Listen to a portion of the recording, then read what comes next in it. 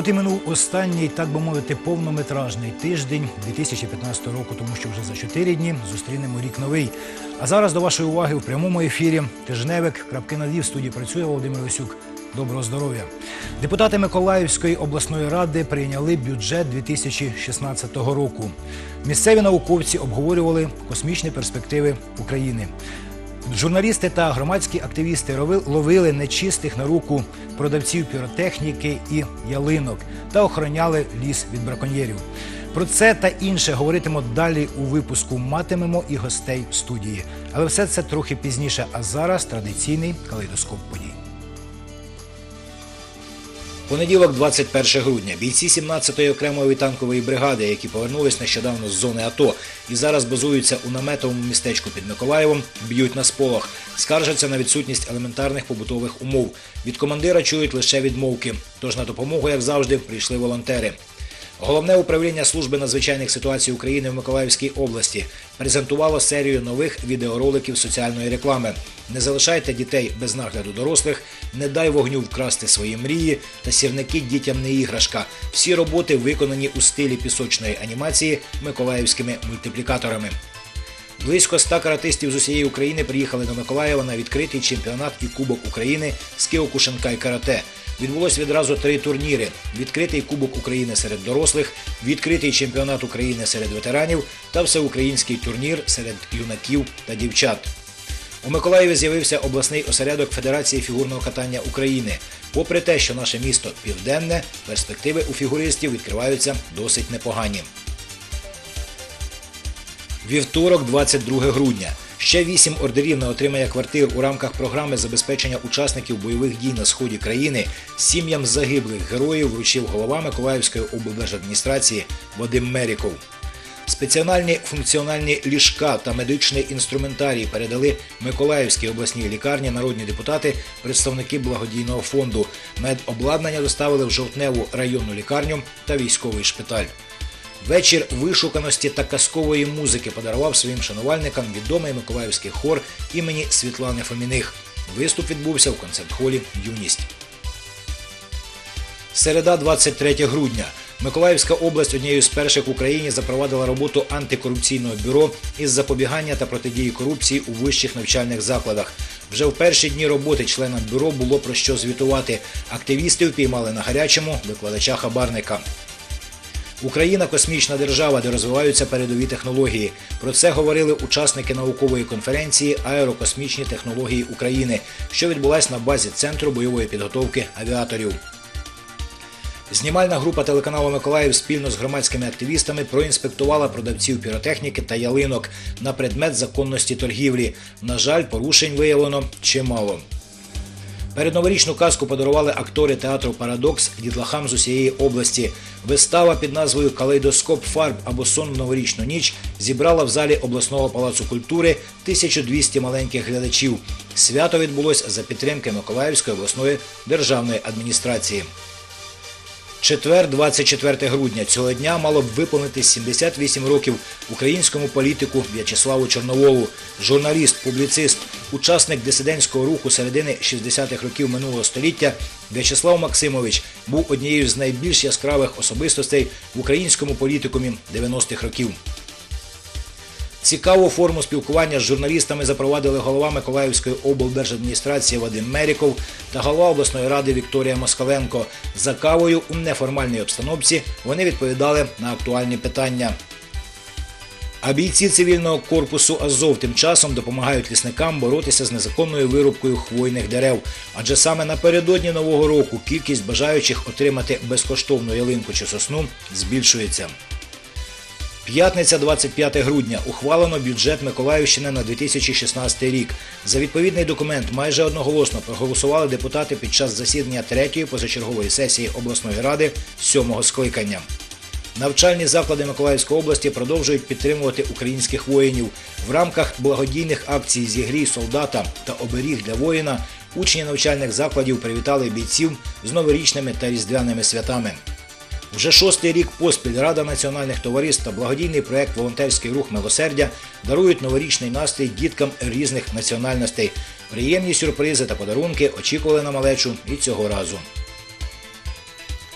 Субота, 26 грудня. Національна гвардія України прийняла до своїх лав 27 новачків. Новобранці будуть виконувати завдання в місті несення служби з охорони громадського порядку, патрулювання, конвоювання підсудних тощо. Серед новачків і декілька жінок.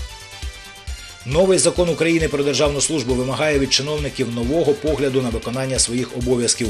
Про це йшлось в ході курсів для державних службовців, які відбулись на базі Чорноморського державного університету. Миколаївське обласне центральне товариство німців і німецької молоді Відер Гебурт на католицьке різдво влаштувало святковий концерт. У програмі твори як німецьких, так і українських композиторів, новорічні пісні та класика. Творити новорічне диво легко. Для понад 300 дітлахів з Жовтневщини влаштували надзвичайний вихідний екскурсію до Миколаївської кінно-спортивної школи. На дітей чекали костюмована вистава скакунів і солодощі. А подарувало новорічну казку сільським школярам підприємство Золотий колос. Тож стартуємо і на початку я хотів би запропонувати вашій увазі декілька оглядово-аналітичних відеосюжетів про найзнаковіші процеси та події, які відбувались в Україні і на Миколаївщині протягом року, що минає. Розпочнемо з найболючішого війни і найсамовідданішого волонтерського руху. Далі дивимось сюжет Марії Савицької і очікуємо гостя в студії. Прошу уваги.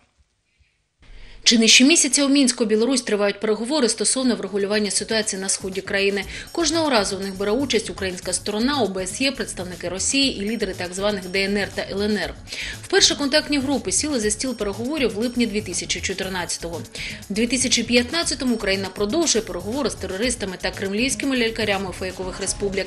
Ми маємо жорстко дотримуватись підписаних угод, інакше втратимо підтримку Європи.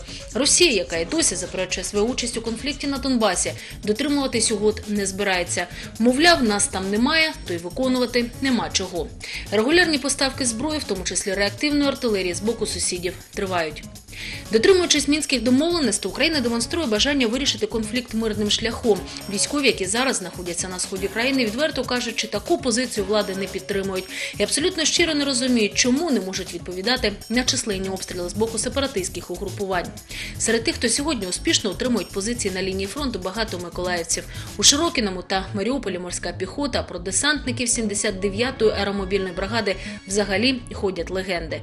Власне, як і про миколаївських волонтерів. Безсистемна їх робота, коли конфлікт тільки починався, через деякий час завершилась цілком логічним об'єднанням в одну організацію Раду волонтерів при голові облдержадміністрації. Структурі ради є кілька підрозділів, і кожен займається конкретним напрямом, як то медичним забезпеченням, ремонтом техніки тощо.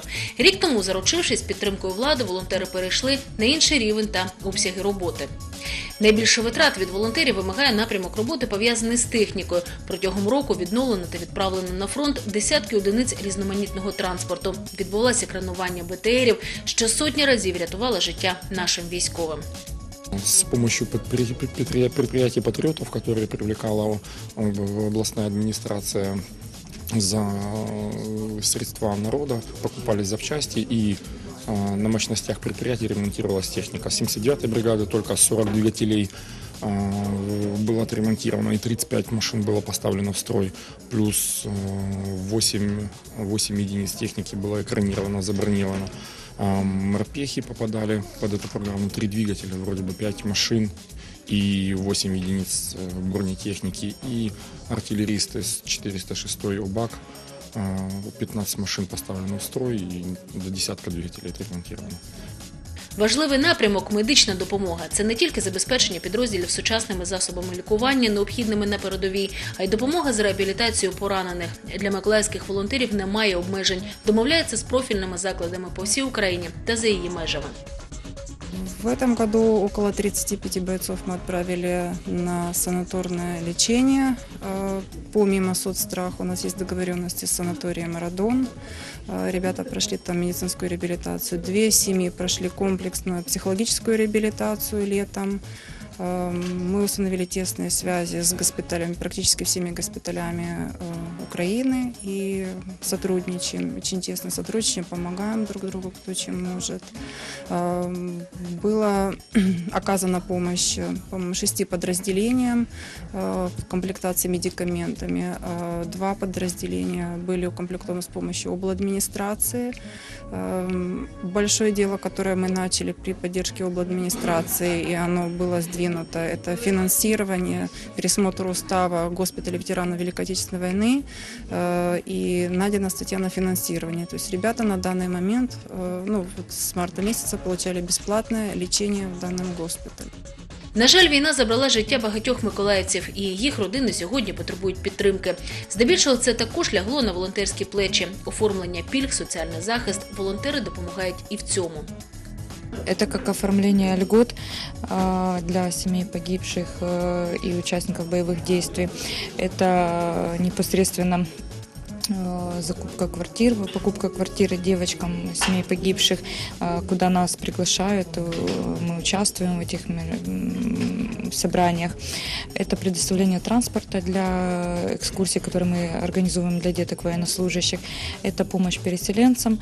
А, Одна из них э, такая большая, это было, мы перевозили семью э, с зоны АТО в Южноукраинский район. Нам помогали приобрести дом для этой семьи. А, Также помо- помогли с- для переселенцев с э, э, арендой квартиры, э, где трое детей, один из них м- мальчик ДЦП. А, Папа, несмотря на все, по своим убеждениям, переехав сюда, пошел служить добровольцем. Это очень для нас было важно. А, Это помощь в поисках благотворительного фонда а, для лечения и реабилитации м, э, ребенка Героя Украины э, в Николаеве. Ефірний час обмежує в можливостях. Розповідати про всі досягнення військових і їх янголів-охоронців, волонтерів можна довго. За можливість жити в мирному місті ми маємо завдячувати саме їм. Армія, яка сьогодні стоїть на рубежах, яка не скиглить, не зраджує, і армія волонтерів, без яких перемога, а ми неодмінно переможемо, була б неможливою. Ефемерні мінські угоди та гучні деклараційні заяви високого політикуму про те, як наразі все добре і густо у нашій армії, наразі не більше аніж просто струс повітря. У наших воїнів на превеликий жаль проблем дуже багато. І кому, як не волонтерам, які завжди приходять на допомогу, про це знати. Я зараз дуже радий вітати в студії свого доброго друга, справжнього патріота-волонтера Дмитра Бачинського. Дмитре, добрий вечір. Я радий, що ти сьогодні з нами тут у підсумковому випуску. Тому що говоритимемо дійсно про серйозні речі, речі, якими ти зараз присвятив декілька років свого життя. А, ну, скажімо так, для початку, Дмитре, як сталося так, що все-таки ти, лікар, хороший лікар, вирішив зайнятися волонтерською діяльністю? Добрий, добрий вечір, Володя. Добрий вечір. Справа в тому, що е, волонтерством, як на мене, почалось для мене, напевне, ще в прошлому році, майже з початку е, бойових дій на сході України. Е, Десь всередині літа, коли першого разу ми поїхали в зону АТО е, допомогою для саме військових. От, і з того моменту, напевне, побачивши всю ситуацію, яка зараз там відбувається, побачивши на які, в яких е, е, в якій одежі, е, з якими можливостями воюють наші військові, на жаль, тоді було не найліпші умови. От, і, звичайно, це надихало на подальшу співпрацю і подальшу допомогу саме нашим військовим. То, то було таким ключовим моментом для мене і переломним моментом до е, волонтерства і після волонтерства. Дмитре, ну я думаю, що волонтерство воно в принципі не закінчується ніколи. Якщо вже раз ти почав цим займатися, то вже буде на все життя, тому що воно цей стан в душі, і я тебе прекрасно розумію. Більше того підтримую. Е, легко, я знаю, за цей час тобі не було. Що було найскладніше, на твою думку? От в організації поїздок, можливо, в пошуку саме оцієї можливостей, ну, допомогу зібрати. От що було найскладніше, на твою думку? Ну, напевне, найскладніше було зрозуміти взагалі, що відбувається там. Зрозуміти, чому наша е, маленька, але духом велика держава е, за свій час незалежності і існування отримала взагалі незрозумілу ситуацію, як е, напад нашого якби сторон, сторонника і друга, і товариша, і сусіда. Але е, зрозуміти спершу неможливо так зразу зрозуміти. І е, можливо ті поїздки наразі і дали можливість зрозуміти ту ситуацію, що ми одні в світі і нам потрібно захищати нашу рідну державу. А ще найтяжче, напевне, було. Е, так як, звичайно, я як лікар-хірург і е, виконую якісь обов'язки по наданню медичної допомоги е, людям саме тут, в Миколаївській області, е, згуртуватися і е, не, не завадити одній співпраці з іншою. Тобто займатися, бо тому що волонтерство це наразі якби е, не так тяжко, якщо є бажання. Але в часу е, воно затрачується час, і тому е, не, е, якби не в е, своїм пацієнтам е, можливість е, оказувати е, допомогу і цим самим е, займатися волонтерством. Це найтяжче знайти середину, щоб не завадити і одному, і іншому. Е, Дмитре, е, на твою думку, ну, час тривалий вже минув з того, е, з того моменту, коли ти розпочав займатися волонтерською діяльністю. Рік 2014, рік 2015, власне, для волонтерів. Вони відрізняються. Ну, чи пішов е, волонтерський рух, як зараз кажуть, на спад? Чи все-таки зберігаються його якісь ще ну, е, можливості для того, щоб надавати цю допомогу? Як я бачу, все-таки вже немає отого підйому. Як можеш прокоментувати цю ситуацію ти? Е, Наразі так, воно правда, тому що е, по співвідношенню цього року і 2014 року, на жаль, е, волонтерський рух пішов на спад. Е, Причина, можливо, в тому, що люди вже е, можливо, як би то не різало вуха, але привикають до військових дій. ви Розумієте, кожного дня по телебаченню показують про те, що е, кількість поранених, кількість, е, які, на жаль, втратили життя, е, оберігаючи кордони. Е, і цим самим е, люди вже е, звикають до цієї ситуації. А ще, напевне, ситуація в тому, що е, економічний спад в Україні е, е, дає е, такий свій відтінок від того, бо люди вже самі вже більше починають думати про себе, е, уже менше надавати якби, допомоги. На жаль, така ситуація. Ну, е, але я впевнений в тому, що е, всі наші українці, миколаївці, е, не зневірились е, в тій, що наша Україна повинна бути цілісною, незалежною ні від кого, мирною і надалі. Тобто душ, духовно і душою все рівно всі вірять в те, що ми переможемо. Е, Дмитре, так воно і буде, інакше не може бути. На превеликий жаль, у нас дуже обмежений час в ефірі. Я знаю, що після виборів ти е, не тільки лікар, не тільки волонтер, а ще й депутат Жовтневої районної ради. Зовсім коротко про те, як вдасться суміщувати цю вже три напрямки роботи. Е, Чи не втратиш на, чому, на чомусь, і чи може допоможе тобі якось в твоїй, скажімо так, е, діяльності і волонтерській, і в тому числі і основній, лікарській, твоє депутатство? Е, Розумієте, я в своєму житті вибрав такий напрямок діяльності, як лікарство. Да? Це тобто допомога іншим, незважаючи ні на що. Е, І напевне і волонтерство, і депутатство це також е, в основі своїй заключається те, що ми допомагаємо людям. То військовослужбовців, то людям, то хворим. Е, І це єдиний напрямок, і я впевнений, що він ніяк не зможе заважати один одному. От, я успішно можу справлятися, так як, на моє розуміння. Волонтерство це так же само, як і депутатство, це така е, робота, яка повинна приносити тобі задоволення від допомоги людям. Все, а якщо і то, і то допомагаєш людям, то напевне ти зможеш справитись з усім. Головне бажання мати і все.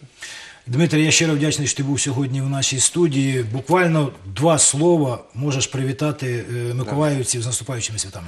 Добре, дякую. Е, Шановні українці, шановні миколаївці, користуючись нагодою, я хочу привітати всіх вас е, з наступаючими е, святами, з Новим роком, з Різдвом Христо- Христовим. І головне, що хочеться побажати, це миру нам, добра вам всім, злагоди, любові. І впевнений, що ми переможемо, тому що правда на нашій стороні, а правда завжди перемагає. Я дякую, щиро дякую нашому гостю. А ми продовжуємо прямий ефір і далі подивимося ще один оглядово-аналітичний матеріал. Цього разу мова йтиме про політику, про політику і основні політичні знакові події, які відбувалися в Україні на Миколаївщині протягом цього року. Дивимося сюжет Тетяни, Тетяни Мілякіної. Конфігурація влади, коаліційна криза, персональні конфлікти. За рік спільними зусиллями заявили президент, прем'єр, спікер. Була створена міжнародна коаліція на підтримку України. Децентралізація стала реальною зміною системи влади, започатковані системні перетворення у напрямі антикорупційної політики. Імпульсом конституційної реформи стала децентралізація влади. 5 лютого Верховна Рада дала добро на проведення територіальної реформи в Україні, що полягає в об'єднанні сіл і селищ у єдині громади. Місцеві ради отримують розширені повноваження і додатковий ресурс у вигляді місцевих податків. Нові повноваження і об'єднання люди сприйняли неоднозначно. Швидше всього хотілося побачити це на апробації, опробувати. Опробувати на якійсь певній території. Наприклад, об'єднались на території Миколаївського району три громади і пожили два роки. На виконання закону децентралізації там повинна рушійну силу грати громада. От громада повинна наповнювати бюджет і дбати про те, щоб бюджет наповнювався якомога більше, якомога ширше. У липні на 30-й позачерговій сесії Миколаївської обласної ради шостого скликання депутати більшістю голосів ухвалили перспективний план формування територіальних громад області, яким передбачено створення більше 30 громад. Навряд чи хто знав, чим закінчиться голосування у Верховній Раді за поправки до Конституції України щодо децентралізації влади. 31 серпня 2015-го народні депутати під галас увімкнену сирену приймають зміни. А мирний протест біля парламенту, що помітив у змінах надання Донбасу статусу особливих територій, перетворився на криваву трагедію. Четверо чоловік вбито, десятки поранено. У провокації звинуватили свободу. Генпрокуратура кваліфікувала сутички як теракт. Протягом року лунали за і проти децентралізації. На Миколаївщині на кінець 2015-го діє лише одна об'єднана територіальна громада Куцурубська на Очаківщині. Перерозподіл владних повноважень і місцеві вибори нерозривні 25 жовтня українці обрали нові місцеві ради, хоча і старих облич побачили чимало. Вони обіцяли зігріти теплом і встановити мир. Серед особливостей нинішньої кампанії скорочена за часом партійна агітація, нова виборча система, в якій головну роль відіграють політсили, і низька явка виборців на дільниці. Подолали 5% бар'єр і пройшли до обласної ради сім партій: Опоблок, Блок Порошенка, Наш край, Бют, Укроп, Нова держава і відродження. 3 грудня головою обласної ради обрано представника від блоку Порошенка Вікторію Москаленко. Але основною інтригою цих виборів було обрання міських голів у двох найбільших містах області. У Первомайську виборчий процес вже традиційно не обійшовся без гучного скандалу і судів. Основний фігурант, колишній регіонал і знов мер Первомайська Людмила Дромашко. В обласному центрі до другого туру вийшли опозиціонер Ігор Дятлов і кандидат від самопомочі Олександр Сенкевич. Діючий мер Юрій Гранатуров посів у першому турі третє місце. Вже за два тижні, 15 листопада, миколаївці віддали Санкевичу більше 80 тисяч голосів, а відтак і кредит довіри новому міському голові. Надеюсь, что никакие названия депутатских фракций, партий и наши политические предпочтения никак не повлияют на нашу совмісну роботу. Невідомо щодо спільної роботи, а ось до судів опозиціонери вже підготувалися. Через місяць після виборів заявили, результати сфальсифіковані. Мовляв, помилка у реєстрі виборців на 20 тисяч голосів. Чого більше в цій заяві юридичної чи політичної складової, то вже справа суду. 20 травня 2015-го набув чинності закон про декомунізацію, яким передбачається заборона пропаганди комуністичного і націонал-соціалістичного режимів, як тоталітарних і злочинних режимів.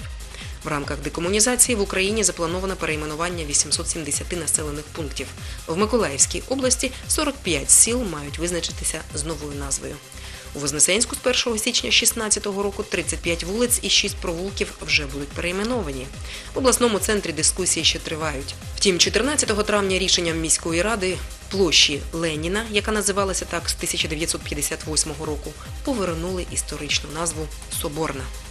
Україна вшановує пам'ять кожного, хто боровся з нацизмом. Тому вперше в цьому році відзначалося 8 травня як День пам'яті та примирення, і 9 травня як День перемоги над нацизмом у Другій світовій війні. 20 лютого було відкрито в Миколаєві пам'ятник Небесній Сотні та загиблим на сході бійцям. Меморіальні дошки встановлювали і в районах області. А 7 квітня відбулися заходи з нагоди відзначення Дня боротьби з сепаратизмом у Миколаївській області. Рік позначився блокадами на адмінкордоні з Кримом, торговельна у вересні і енергетична у листопаді з політичним підтекстом. Саме ці радикальні дії від низів громадських активістів кримсько-татарського меджлісу змусили повернути на перші шпальта тему анексованого Криму і як підсумок рішення уряду про заборону постачання робіт товарів послуг на тимчасово окуповані території. Найчастіше згадували цього року реформу органів внутрішніх справ, зокрема роботу патрульної поліції. 6 грудня в Миколаєві майже 500 поліцейських прийняли урочисту присягу і заступили на службу. Невдачею року можна назвати неефективну боротьбу з корупцією, зволікання з проведенням судової реформи.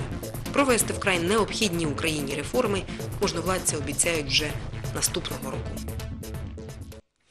На превеликий жаль, чимало гучних декларацій та ініціатив, які озвучувались нашими політиками, так і залишились звичайним популізмом. А самі політики досхочу тішили цивілізований світ своєю нецивілізованою поведінкою. Тож е, залишається сподіватися, що у наступному році вони нарешті прийдуть до тями і почнуть працювати. А ми продовжуємо і далі підсумуємо економічні показники року. Дивіться сюжет Федора Бондаря. Український уряд звітує про численні економічні реформи, проведені цього року. Стали відкритими бюджети і реєстри, введено електронні держзакупівлі, створюються нові правоохоронні, в тому числі антикорупційні органи. Деякі експерти вважають, що найбільш важливою реформою у 2015 році стало приведення тарифів на газ до економічно обґрунтованого рівня. Хоча це рішення було дуже непопулярним і болючим із соціальної точки зору, воно заслуговує на перше місце серед реформаторських ініціатив, оскільки вирішує декілька нагальних проблем, зменшує можливості для корупції, сприяє зниженню дефіциту бюджету та зміцненню енергетичної незалежності економіки. А соціальну шкоду може і не повною мірою, але намагаються компенсувати субсидіями. На Миколаївщині радикальних економічних змін ми не помітили. Найбільші підприємства і галузі працюють більш-менш стабільно. Южноукраїнська атомна електростанція продовжила після необхідної процедури експлуатацію другого енергоблоку. Комплекс «Зоря-Машпроект», хоча й навряд чи зможе найближчим часом знайти абсолютну заміну російському ринку, успішно просувається в Азії. Підприємства морської індустрії набувають все більшої ваги. Останніми роками нарощують обсяги виробництва миколаївські порти, а поява нових унікальних для України терміналів біля наших причалів свідчення потенціалу цієї сфери та логістичних переваг. Транспортний антисимвол року траса Н-11. Та й взагалі автошляхи Миколаївщини нерідко називають найгіршими в Україні. Сільське господарство залишається однією з найстабільніших галузей української економіки. Навіть на Миколаївщині аграріям вдається постійно покращувати свої результати. Цього року зібрали без якоїсь дрібнички 3 мільйони тонн зернових. Переробка мала б стати наступною і логічною метою. Зіпсувала картину цього року і, ймовірно, відіб'ється на наступному епідемії африканської чуми свиней в трьох районах області. Суднобудування залишається практично на тій же стадії, що й торік і раніше. З найбільших підприємств власні замовлення раз по раз демонструє лише найстаріший завод обласного центру. Хоча комунальцям завинили понад 20 мільйонів гривень зарплати, під кінець року відбулись певні виплати, а керівництво заводу має амбітні плани на наступний рік. Ситуація в економіці країни і області часта тема наших передач, в тому числі ток-шоу Контраргумент. В одній з них нещодавно йшлося саме про підсумки поточного року та порушувалися глобальні причини скрутного становища вітчизняної економіки. Для того, чтобы добраться оптимизма, мне кажется, э, нужно почитать предвыборные программы всех наших партий, оппозиционных и неоппозиционных. Удивительный парадокс. Там написано, что нужно сделать для того, чтобы страна вышла из кризиса. Но как только партия становится правящей, она молниеносно теряет ощущение реальности и делает как раз наоборот. Все для того, чтобы эта страна не процветала. Удивительный украинский парадокс. Все знают до тех пор, пока не оказались у кормила. Если говорить об итогах э, этого года, э, падение производства там, по оценкам разных экспертов это там 12-15%, инфляция 45%, э, внешний долг государства составляет 95% от всего ВВП, то есть вдумайтесь только в это. Можно списывать на войну, на нашего северного соседа, на плохую погоду, на все что угодно.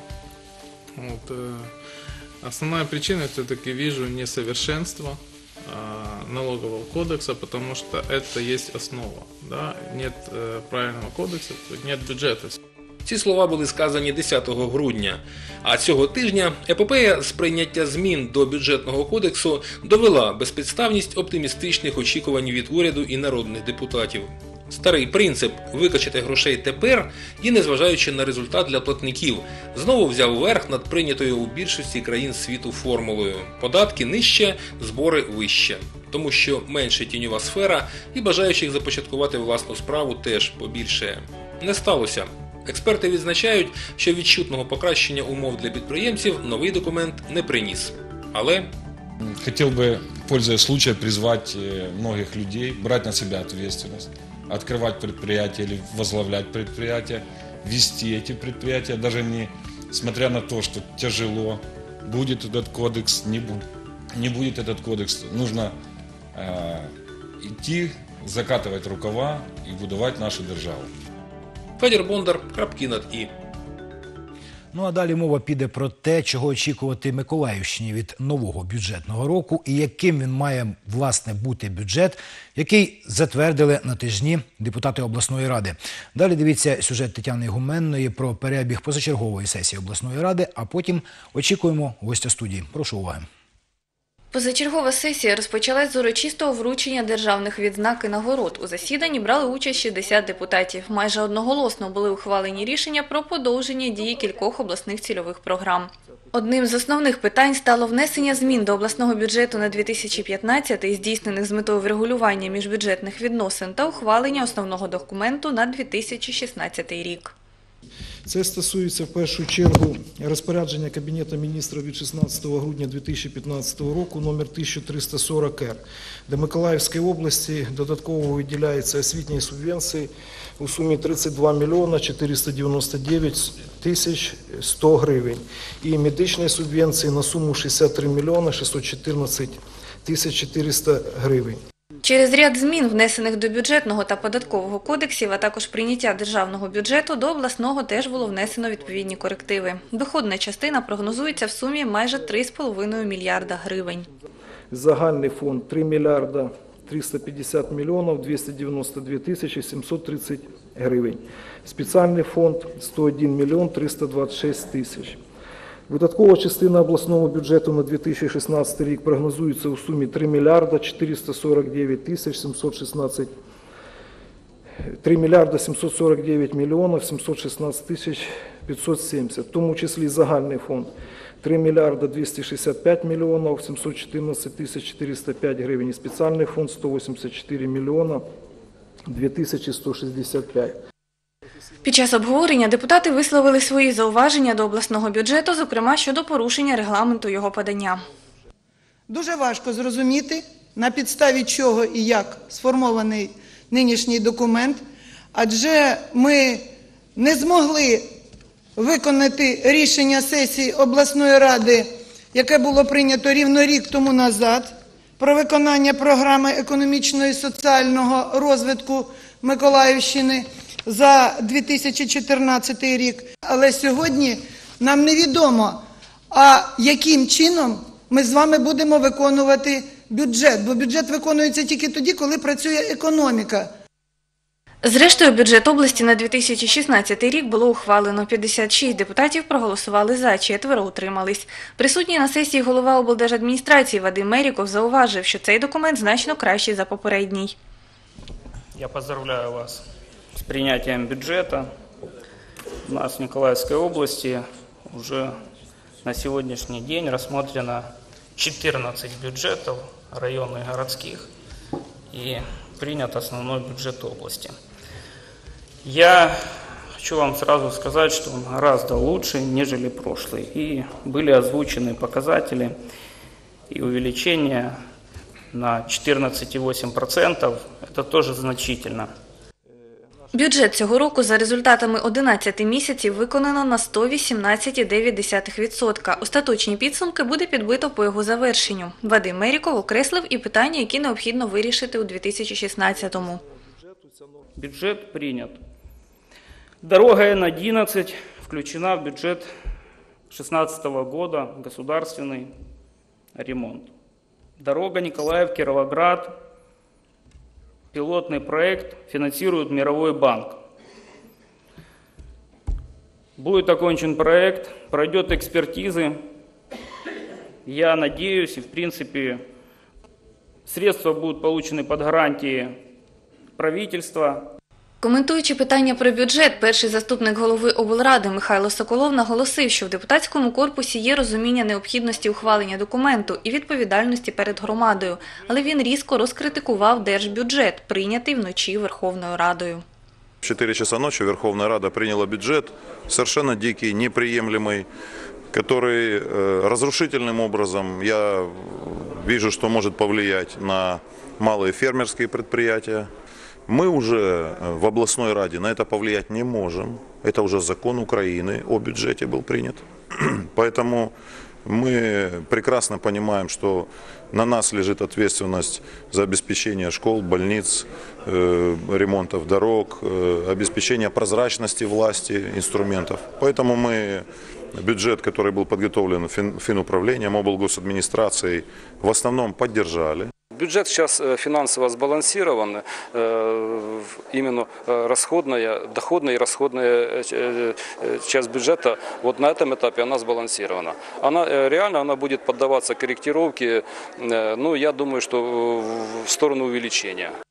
На порядок денний сесії було внесено питання про обрання заступника голови обласної ради. Кандидатом на цю посаду було висунуто представника фракції опозиційного блоку Петра Паламарюка, але депутати його не підтримали. Після тривалих обговорень і голосування лише 17 за, 37 висловились проти.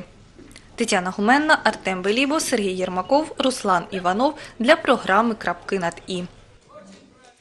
А зараз ми вітаємо гостя, вірніше чарівну гостю нашої студії, голову Миколаївської обласної ради Вікторію Москаленко. Вікторія Вікторівна, доброго вечора. Е, Я вітаю вас з наступаючими святами і вітаю з обранням головою Миколаївської обласної ради. І зразу знаєте таке особисте питання. Е, Не страшно молодій, чарівній, тендітній жінці очолити такий от е, корпус солідний депутатський з такими от серйозними дядьками, які там е, гнуть свою політику. Дякую за привітання. Добрий вечір. Дякую за вітання з обранням. Ви знаєте, чесно кажучи, сьогодні не страшно, е, тому що вже обрана, вже взяла на себе відповідальність.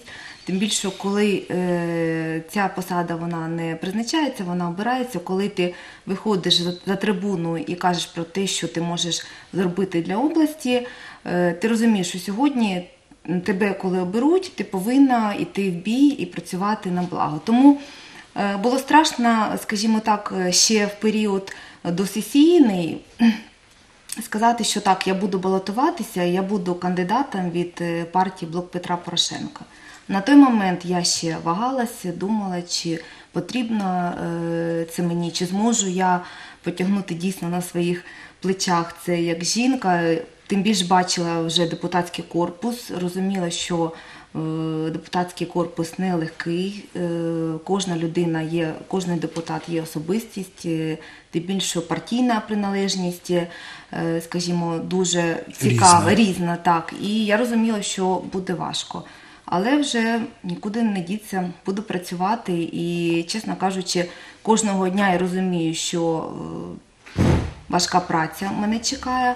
Але з іншого боку, коли я е, в той же час розумію, що я буду працювати е, на благо людей, то знаєте, зразу, зразу такі ну, можливості з'являються, що коли ти будеш робити добро, коли ти будеш. е, робити тільки добрі справи, то Бог допоможе. І зразу знаходяться ті люди, і в депутатському корпусі, до речі, вже є підтримка, коли всі розуміють, що я не буду е, працювати на свої особисті інтереси чи якісь там як- якоїсь групи людей, що буду працювати і хочу працювати на благо всієї Миколаївської області. Е, Вікторія Вікторовна, е, стосовно сесії, останньої позачергової сесії, яка ось відбулася, вона була важливою, дуже важливою. Дійсно, постфактум, вірніше, вночі приймався бюджет, бюджет державний, і вже зранку е, сесія обласної ради також голосувала наш е, основний фінансовий документ обласний. Що ви можете сказати про цю сесію? Коротко про її перебіг. Чого очікували, чого може боялися? Е, Знаєте, е, дійсно всі очікували державний бюджет України, але ми знаємо бюджетний кодекс України, що сьогодні дозволяється приймати місцеві бюджети, е, не дочікуючись державного бюджету, але враховуючи трансферти з державного бюджету. Тому є така стаття 77 бюджетного кодексу, і на бюджетній комісії ті депутати, які запитували, давайте дочекаємося все ж таки державного бюджету, були такі моменти, коли казали, давайте перенесемо після нового року, але закон дозволяв це робити нам, ми не порушували, і головне було прийняти його саме тоді. І я е, рада тому, що в 8.30 ми зібралися ще на бюджетну комісію до сесії, врахували ті зміни, які були прийняті відповідно до закону про державний бюджет, і вже вийшли на збалансований бюджет області. І я вважаю, що це є перемога, і підтримка в залі була майже більшість. е, Той депутатський корпус, який був присутній, підтримали більшістю голосів. Я вважаю, що це перемога. Вікторія Вікторовна, як дивитесь, е, скажімо, таку перспективу, якою, на вашу думку, має бути робота обласної ради у е, наступному році? Чи є оптиміст, чи може він обережний цей оптимізм? Ну, в принципі, можна сказати, я оптиміст по життю, але ви правильно замітили, що обережний оптиміст, е, але будемо йти вперед. Е, Що, що необхідно? Перше, реалізовувати виконання тих програм, які прийняті обласною радою. Це 54 обласні програми. Це програма турботи, це програма освіти, це програма е, допомоги учасникам АТО, книговидання. Тобто є декілька нових програм, які в 2015 році були започатковані. Я зараз перше з ними з кожною хочу ознайомитися, щоб для себе розуміти, що я саме як голова облради можу привнести і е, можу модернізувати, можу внести зміни до цих програм. Тобто є з чим працювати. Е, Також план дій це, звісно, знайомство з районами, тому що, чесно кажучи, всі вже чекають, всі запрошують, е, і такий план на рік є. Будемо працювати. Вікторія Вікторовна, на превеликий жаль, у нас дуже мало часу, тому я пропоную вам, користуючись нагодою, привітати миколаївців з наступаючими святами. Е, Шановні миколаївці, дорога Миколаївська область, я хочу привітати всіх з наступаючим Новим роком і Різдвом Христовим. Хочу сказати, що головне, щоб в кожний дім е, сьогодні прийшло Боже благословіння, добро, тепло, щоб кожного з нас е, торкнулася Божа ласка, і щоб е, ми кожен з вас, е, кожен дарував один одному тепло і добро. Ви знаєте, це саме головне, тому вам добрих свят, доброго відпочинку і вперед до нових перемог у 2016 році. Вікторія Вікторовна, я щиро дякую вам за те, що ви були сьогодні з Дякую нами. вас теж. Дякую. І, а ми продовжуємо. І саме сьогодні, 27 грудня, світова наукова спільнота вшановує день народження відомого астронома Йоганнеса Кеплера, е, автора законів, які лягли в основу сучасної космонавтики. До речі, минулого тижня, вірніше тижня, що минає, в нашому місті відбулася досить серйозна науково-практична конференція. Дивимось сюжет про неї. Німецький вчений Йоганнес Кеплер був прихильником геліоцентричної системи Коперніка. На той час це справді було революційним у науці. Враховування точних орбіт планет, їхніх супутників в середні віки може й не мало такого значення, проте в 20 столітті, коли активно почала розвиватись космонавтика, зіграла важливу роль. Україна отримала у спадок після розпаду Радянського Союзу статус космічної держави. І хоча ми не будуємо власних космічних кораблів та станцій, технології для їх створення, як і безпілотних апаратів, у нас не поступаються світовим стандартам. Хоча вчені наголошують, Україна повинна рухатися в бік пілотуємої космонавтики. на сегодняшний день. Поэтому мы разрабатываем совместно э, со специалистами Центра специализированной подготовки военно-воздушных сил все методики, которые могут работать на эти разры- на э, достижение успехов и строительства в перспективе пилотируемой космонавтики в Украине. В сучасній космічній науці слово космонавт не вживається, лише оператор складних систем. Адже як досвід показує, що це і льотчики, і науковці. Саме авіатори, особливо льотчики-випробувачі, і складали екіпажі космічних кораблів. Миколаївщина відома своїм центром підготовки таких спеціалістів. Наш центр готовит авиационных специалистов для вооруженных сил Украины и других воинских формирований. А, Как мы знаем, что э, основой развития космонавтики это прежде всего есть, было и будет авиационные специалисты.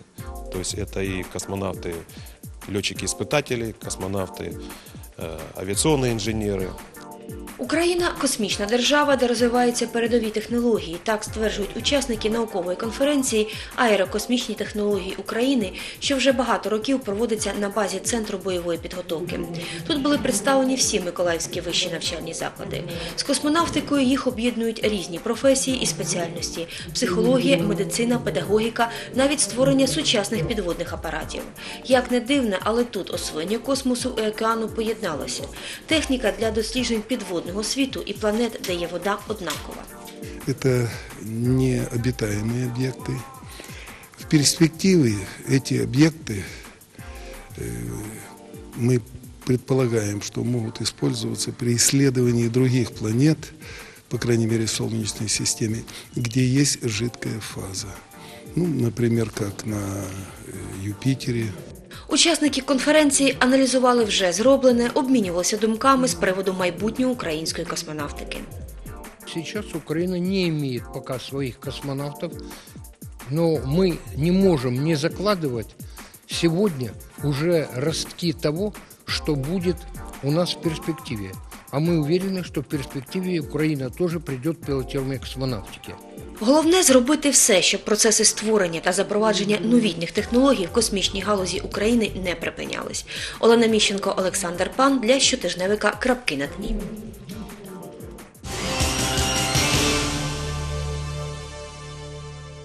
А наш прямий ефір триває. Далі говоритимемо про інші теми, більш приземлені. Уже незабаром зустрічатимемо новий рік. Тож зрозуміло цілком, що новорічна атрибутика на ринках і в магазинах міста йде на ура. Втім, не завжди продавці, особливо на ринках, е, чесно продають свою продукцію, особливо піротехніку та ялинки. Днями наша знімальна група разом з громадськими активістами перевірила, наскільки законною є ця торгівля. Дивимось сюжет. Напередодні новорічних свят зріс попит на піротехнічні засоби. Як відомо, попит народжує пропозицію. Отже, чимало недобросовісних підприємців у погоні за гривнею нехтують законом, продають піротехніку нелегально. Центральний ринок на проїжджій частині перша точка. Столик з небагатим на перший погляд асортиментом. Новорічні маски, хлоповки, бенгальські вогні. Для контрольної закупки активісти замовляють у продавчині петарди. Результат підпільним покупцям без перешкод продають упаковку доволі небезпечної новорічної вибухівки жуки. Это зеленый огонь петарды. плюс э, громкий разрыв. Здесь, получается, необходимо э, подожечь, э, быстро отбросить его на 10 метров от себя и отойти на 20 метров. Разумеется, не каждый человек это может сделать. Окрім того, що торгувати петардами на ринку взагалі заборонено, продавчиню навіть юний вік покупців не збентежив. Жінка спочатку факт продажу заперечує, але потім зізнається. У меня одна была.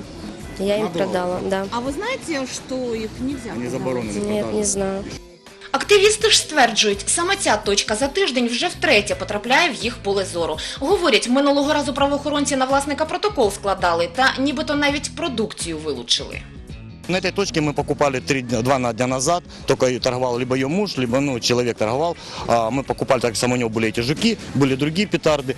Они тут торгуют, несмотря на то, что их уже это третий рейд на них. І продають небезпечну забавку без будь-яких на те дозвільних документів та сертифікатів. Поки активісти викликали поліцейських, продавчиня накивала п'ятами. За декілька хвилин приїздить патрульна служба, згодом слідчо-оперативна група.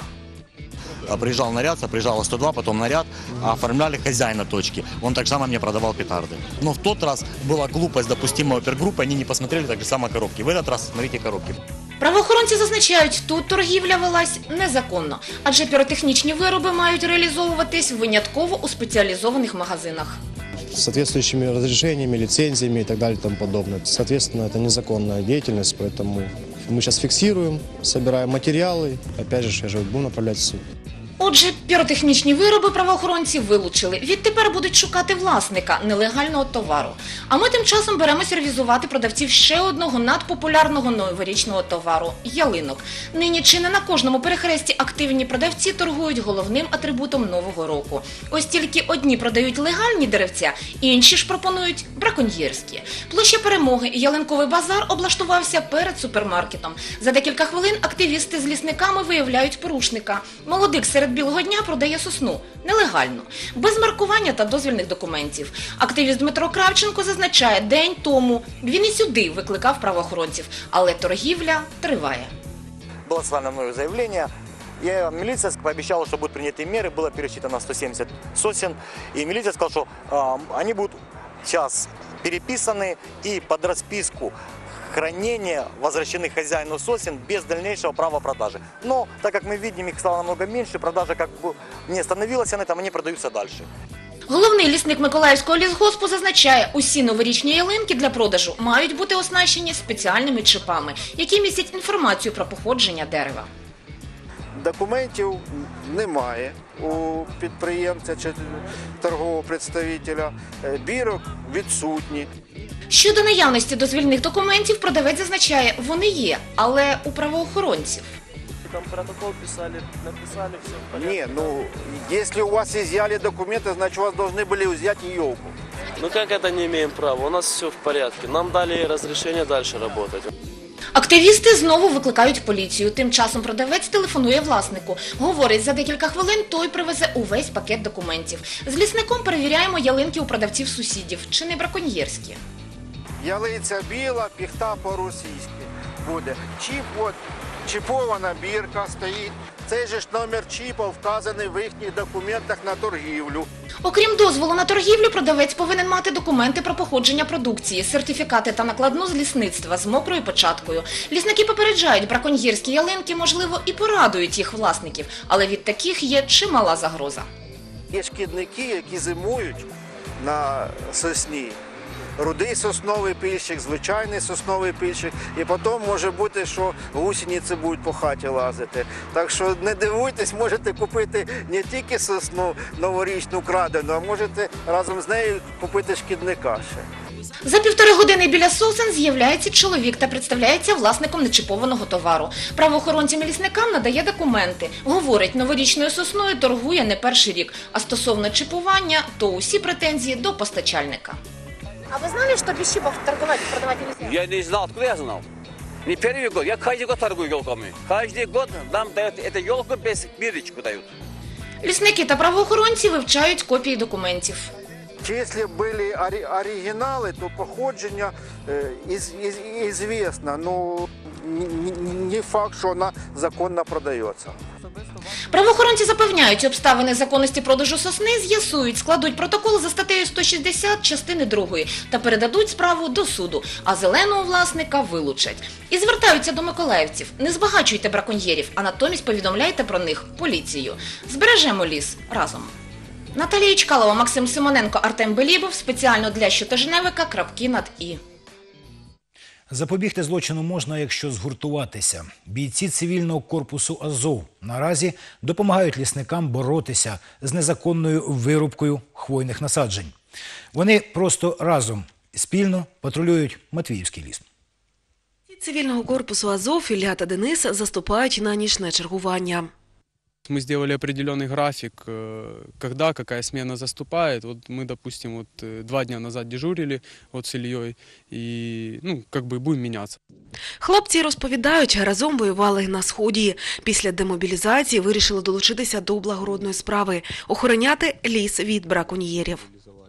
Благодаря войне э, м, какое-то повышенное чувство э, социальное, остро-социальное у нас появилось, и как бы все эти проблемы видятся еще в большем свете, поэтому хотим их решать, хотим менять даже с этих мелочей, делать какие-то перемены. Під надійною охороною азовців лісові насадження від минулої п'ятниці. Мы там препятствовали каким-то действиям, когда там люди приезжали, так посмотрели, что здесь уже патрулируется, то вот уже, ну, как бы особо не пойдешь не вырубать елку какую-то. То есть главная цель это предупредить какие-то эти действия. Это не значит, что мы там должны подождать, пока он срубит елку и потом его там сцапать. Нет, главное ее сохранить. За цей час вже спіймали трьох правопорушників, які вночі потайки намагалися зрубати декілька сосен. Хлопці їх затримали та викликали поліцію. Основная цель, как я уже сказал, найти браконьеров, чтобы бороться непосредственно с самой проблемой, а не с э, следствием ее. То, что мы видим, появляются елки, там, которые ну, не должны быть в продаже. То есть вот пытаемся предотвратить это, потому что лес, но, ну, есть угроза у этого леса. Такій допомозі радіють самі лісники. Елка очень тяжело растет в связи с такой жарой, а все хотят бесплатно срезать на новогодний праздник елку себе. Я целый день тут хожу, охраняю, а азовцы, слава богу, помогают мне по ночам. Майстер дільниці Руслан Горбенко вдень обходить свою територію. Вночі на чергування заступають добровольці. Уважаемые жители Николаева, огромная просьба, не рубите лес. Скоро его здесь не останется. Лес – это наш ки- чистый воздух. Не будет где нам приходить и отдыхать, любоваться и фотографироваться. Перші сосни почали саджати на цьому місці 50 років тому. За цей період територія розширилась на 600 гектарів. Щороку лісники омолоджують насадження. Аби виростити таку двометрову зелену лісову красуню, потрібно більше 10 років. Це якщо будуть сприятливі погодні умови. Хвойні дерева дуже примхливі, тому те, що прижилось, вкрай важливо зберегти від браконьєрів. Для нас сейчас э, активная пора защиты зеленых насаждений новогодних, а до этого мы занимаемся мусором еще и хотим вычистить и навести порядок в нашем лесу. А лес вообще это наши легкие. Сейчас, когда все лиственные деревья опали на зиму, единственное, что дает нам кислород, это сосна. Наталя Приходько, Олександр Пан. Спеціально для крапок над «і». І це все на сьогодні. Тижневе крапки над і каже вам до побачення. До зустрічі у новому 2015 році. А я хочу додати: гуртуємося і єднаємося. Саме у цьому наша сила. Сюжети, які ви сьогодні переглянули, яскраво про то свідчать. Вітаю вас з наступаючим новим роком і Різдвом Христовим. Бажаю миру, добра, злагоди, всебічних гараздів. Бережіть себе, своїх рідних і Україну. І будьте мені здорові.